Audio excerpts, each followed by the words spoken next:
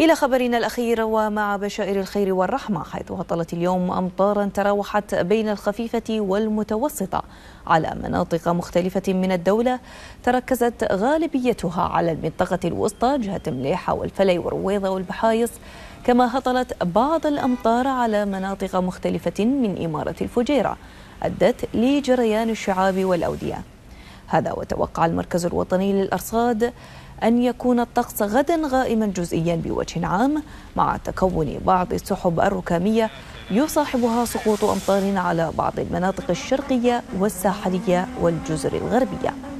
وهذه اللقطات من تصوير فريق مركز العاصفة.